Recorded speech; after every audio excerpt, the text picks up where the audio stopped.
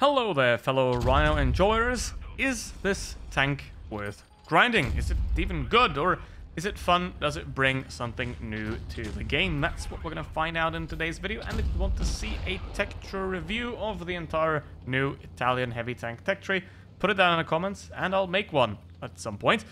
Let's first have a look at the vehicle itself.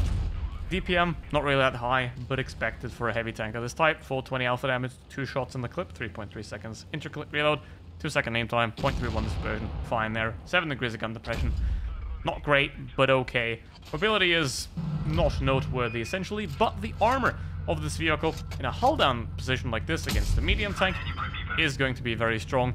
You're not really going to be able to penetrate it with, for example, an Object 140 that I'm demonstrating it here. However, if you're on flat ground of vehicle and you're fighting against a heavy tank that, for example, has high heat penetration, like the 57 Heavy, you can damage the ammo rack, or you can even blow it up with two shots, because the ammo rack is right behind the front turret plate, which is not really a great design, if you that's the main weak spot on the top of the vehicle, but did, anyway, I didn't try to provoke that, it just happened, like I shot it at it three times and it exploded, so be careful. You don't want it to turn into the new 60 TP in terms of... It's a tank that's pretty good, but it kind of likes to explode. Now, two-shot auto reloader already complicates it a little bit compared to single-shot guns, but it also makes it more interesting. More interesting than, for example, a VZ-55 or the good old vehicle that everybody forgets, the WZ-1321 that... Does anybody have that tank? Please tell me in the comments, because I don't think anybody anybody actually has that vehicle. The Rhino, however, can be worth grinding because it does bring something interesting to the game. Now, not the front armor though, because that's a sort of rounded pike nose, and a rounded pike nose is essentially weak at any angle, which is not really that great, so you can penetrate the hull with a lot of guns quite easily, especially on flat ground, if it's not hull down. You can go straight to the lower plate, no problems asked, ever. However, your 840 clip damage that you can unload in 3.3 seconds is going to be very useful in a lot of situations, especially in those where you can reload that clip in peace. But make sure to not actually fire the gun while you're reloading the second shell, because then you lose all the progress on your reload, which wouldn't be very nice, and the DPM's already not that fantastic, so you will kind of hurt yourself a lot with that.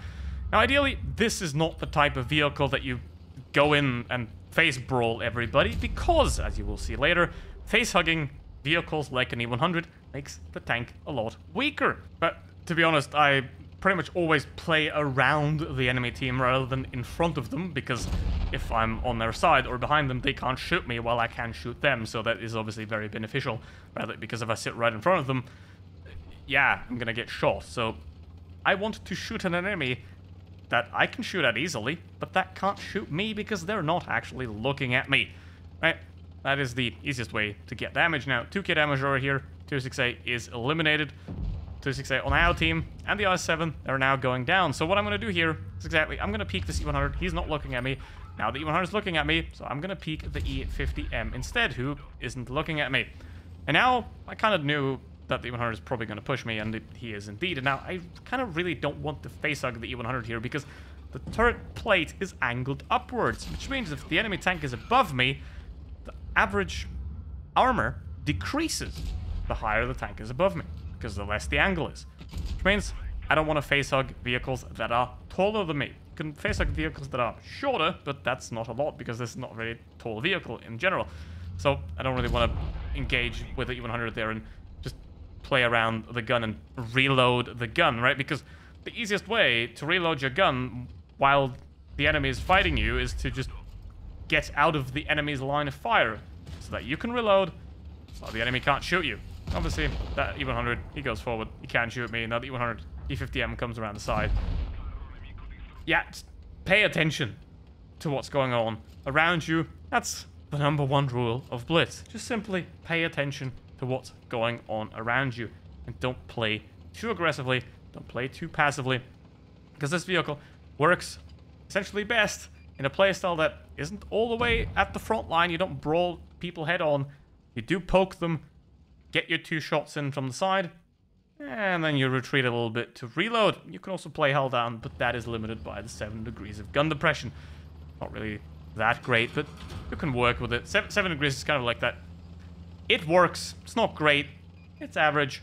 Could be better, but you can deal with it. Now, bad medium tanks is uh, something that you ideally don't want to deal with, uh, especially those that go to the heavy tank side and then brawl with heavy tanks. I think that's the saddest thing to see in the entire World of Tanks Blitz, where it kind of makes sense for, for an IS-7 and IS-4, a Maus and E100 to go ahead and brawl with other heavy tanks, because that's kind of what they're supposed to do. But when you see a lonely Batchat run into three enemy heavies and try to face hug them, yeah, that kind of hurts. Now what I'm doing here again, very simple technique. Super Conqueror can shoot me, but that's insurance. He's not looking at me. I peek him, I put two shots into him, I took 800 damage, I dealt 800 damage. So, uh, I took 400, I dealt 800. And if you can do two hit points of damage for every hit point you lose, that's 4,800 damage in this tank right here, which is not too bad.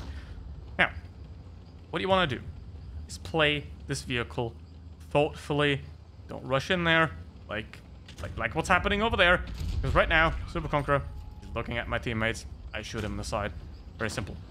That is how you want to play a vehicle like this, right? Thoughtful, find yourself those opportunities to do damage without getting damage back. Because the more hit points you retain till the end of the battle, the more likely it is that you're going to be able to win it. However, you still have to do damage continuously throughout the battle while trying to retain your hit points. And with this vehicle, it works pretty well because the third armor, like in this case where I can drive back, I have the angle. He's not going to be able to pin me. He also doesn't have high penetration heat rounds that he could use calibrated on to make even better. He does have APCR, so that's going to be a little bit of a struggle. Just like me, driving is also always a struggle. I'll be fine. And uh, here is exactly what I just mentioned about one minute ago. It's, it's almost if as if I knew. Hmm. Anyway. So, yeah, you don't like seeing that when, when your mediums rush into the heavies. You don't like seeing that. You always want to get some distance, some separation, especially in a situation like this, right? Get away from the fight, because you get distance, you gain time. If you gain time, you can reload, you can reposition, you can shoot at the enemy while they move towards you. It is all going to be beneficial. Obviously, if you're too far away, you can't shoot at anybody. But in this case, this match is completely lost, and it has been for quite a while, and I even made the mistake of not pulling out fast enough, so I lost quite a couple of hit points there unnecessarily that I could have now had to get in, for example, three shots instead of two. And uh, again, I want to get out of there, out of that situation as quickly as possible to maybe, again, reload that shell. Now, I could have avoided shooting at the 260 there, but I know that the Sharon's going to come around the other side, and it's going to finish off, so it doesn't really matter what I do, who I shoot at. But that is 4,000 damage in the Rinoceronte nonetheless. And it is a very nice and interesting vehicle if you have an acceptable team. Obviously, if you play on the day of the update, you're never going to have that. But after that, you're going to have very usable teams in many cases. Because I didn't say good, said usable teams. I didn't say good teams. Good teams and usable... a usable team is one that doesn't collapse within a minute. That's a usable team. But, yeah, a lot of them still collapse within a minute, which is not cool. And, hey, camping Batchat. We love that. Now, again here, I'm essentially following the same formula on every tank, every battle. Shoot at the tanks that don't shoot at me, and then do damage, and then win. Boom. Medium side, Obviously, I'm going to go to the medium side with this vehicle. There's not even a discussion that I'm going to go to this side of the map with this vehicle. Got enough mobility to keep up. It does have 7 degrees of gun depression. It's not great, so you can play the hills relatively okay. And you have the two shots. That's 800 damage. Which means if you are going to fight a medium, you're going to be sort of fine. And here we have complete map control in this battle which is an absolutely lovely sight to have. And now again, I'm gonna, unfortunately, biff the shell because I thought to myself, okay, if he turns further, I can't do damage anymore, so I'm just gonna throw that shell away, I'm gonna do the damage, and I'm gonna get out, reload in peace. Now, the two STBs, they're gonna get ruined by the enemy team here. Not really nice. I'm gonna try to help them out here. Wasn't really the greatest idea to put a STB into the city like that, but they distracted the enemy team long enough so that the rest of the heavies will now be able to sort of attack that VK that's still sitting there and doing nothing.